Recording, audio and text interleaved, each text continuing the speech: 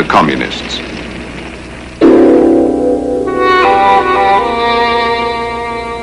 A bizarre incident gives credence to Hitler's charge that the destruction of the Reichstag is part of the communist conspiracy to overthrow Germany. A half-witted Dutch communist is found at the scene, setting blazes of his own. For this crime, he will be charged, tried, and executed. Just five days after the fire,